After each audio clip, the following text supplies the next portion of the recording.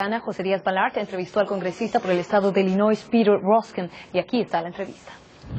Congresista Peter Roskin, muchísimas gracias por estar con nosotros. Thank you. Vamos a hablar sobre el 2014. Eh, muchos planes, eh, la Cámara Baja tiene temas aún por abordar. ¿Cuáles son para usted las preocupaciones principales que ve comenzando este año nuevo?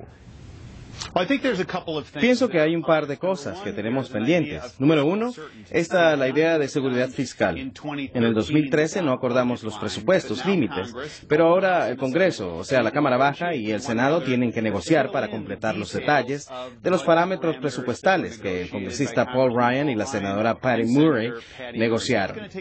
Esto tomará mucho trabajo, pienso que tendrá un buen resultado y que existe una posibilidad de que llegue a concretarse.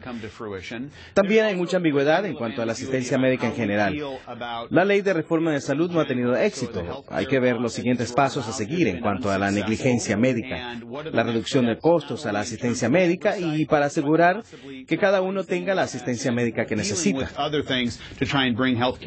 En el tema de seguros eh, médicos, el 2014 es el primer año en la historia de este país donde un estadounidense será multado si no tiene seguro médico. Usted quiere cambiar alguna de las cosas, sin embargo, hasta hay 10 millones de hispanos podrían beneficiarse de estos cambios. ¿Cómo ve usted la necesidad de cambios?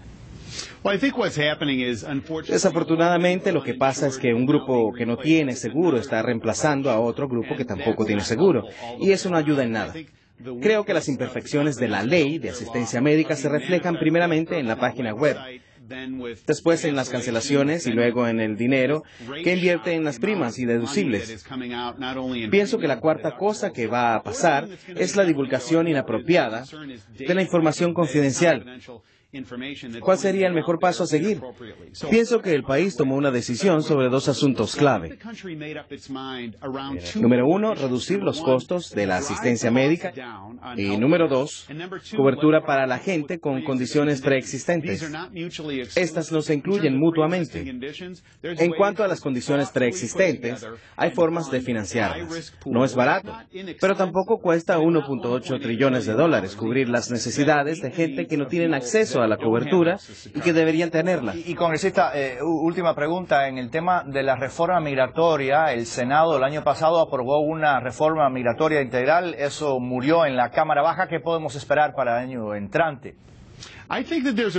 Pienso que hay una buena oportunidad en cuanto a la reforma migratoria. Es algo que todos están de acuerdo y nadie está defendiendo el status quo. Si se ha dado cuenta, nadie está satisfecho con nuestro sistema migratorio. Creo que se reconoce cada vez más que nosotros, como nación, necesitamos inmigrantes. Necesitamos inmigrantes porque hay un índice de natalidad muy bajo en los Estados Unidos. Históricamente, somos una nación formada por inmigrantes y nos hemos beneficiado con la inmigración. La inmigración es la clave de nuestro crecimiento a largo plazo. La pregunta es, ¿cómo se llega a una reforma migratoria razonable? Soy de la opinión que la palabra comprensiva, que ahora se relaciona con casi todo el gobierno federal, se ha desprestigiado ampliamente. El público ha perdido la confianza en la capacidad del Congreso de aprobar grandes cantidades de leyes y de hacer todo lo que ellos prometieron. El mejor ejemplo es la nueva ley de salud. ¿Qué se debe hacer? Pienso que se debe ir por partes. Es interesante que los que proponen la gran reforma migratoria están apoyando el mismo procedimiento. Mi colega Luis Gutiérrez de aquí, de Chicago, y el presidente Obama han estado diciendo lo mismo. Vamos por partes. Pienso que se debe empezar por la frontera, después el programa de trabajadores temporales y después un programa para trabajadores altamente calificados. Hay que pensar y decir, ¿qué vamos a hacer con 11 millones de personas quieren estar al día con la ley.